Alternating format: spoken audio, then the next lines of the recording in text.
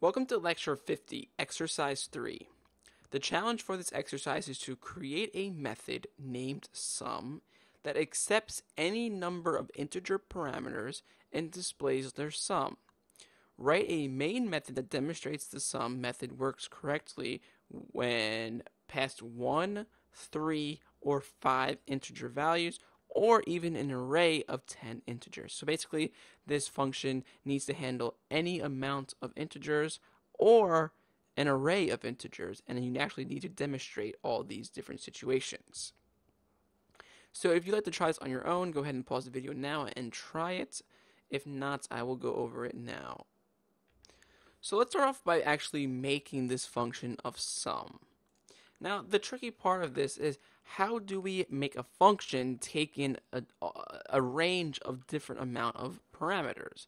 And if you went through the lectures, you would know that there is a keyword that we can use to make it accept any amount of parameters. The keyword is the params keyword. So I'm going to say public static void sum. And the trick is, like I said, the params keyword. So I'm going to say params, then integer array, my array, we'll say.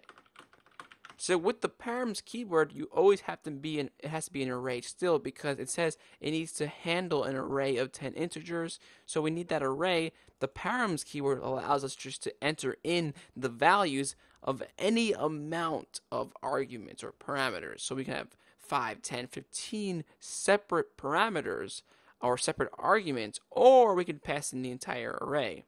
When we pass in the separate arguments using the params, it it comes into the function as the array, and then you can do whatever you want.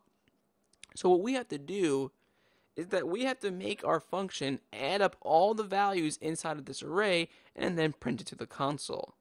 So in order to do that, I'm going to create a variable that's going to keep track of the, the sum, basically. So I'm going to say int sum equals 0. We're assigning it the value 0 to start off with because there's nothing in it yet.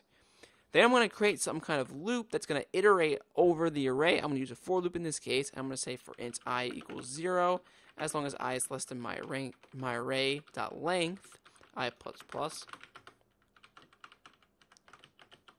So I'm saying this is going from 0 to how long the array is.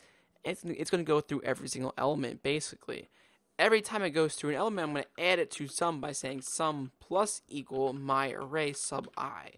So my array sub i will get the actual element at that position in the array and then add it into the sum. Now that I have all the sums added up, once the loop is done, I can just print out the value of the sum. I'm going to say console.writeLine. The sum is placeholder passing in sum. So now I can literally call sum on any of these combinations. So it says on 1, 3, 5, and an array. So I'm going to say sum on 1, I'm just going to pass in 5. Then sum on 3, 5, 10, 15. Sum on 5, 5, 10, 15, 20, 25. And then sum on an, or on an array. So I'm going to create an array first. int my array equals and we'll just do 10, 20, 30, 40, 50, 60, 70, 80, 90, 100. Because it says of 10 elements. And then I want to sum that up by saying sum my array. So I'm passing in this array into the sum also. So I can do it this way, or I can take this array and pass in the array. So let's see what happens. So the first time sum is 5. The second time sum is 30.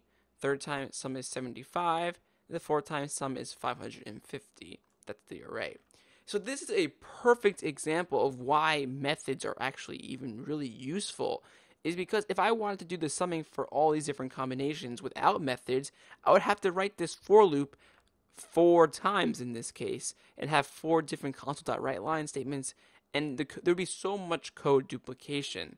However, with using methods, I don't have to do that. I can write the method one time, then I can call it four separate times and runs the same code over and over again, so there's no code duplication. Anytime I need to make changes to that function, I can make the changes in that function, and then everyone who uses that function sees those changes reflected. So you only have to change it in one place. You can imagine if you're using this if you're using this code a hundred times without functions, you have to change it, the code a hundred times if you if there was a problem. But with functions, if I'm using it a hundred times, I change it once, and all hundred times are updated and fixed.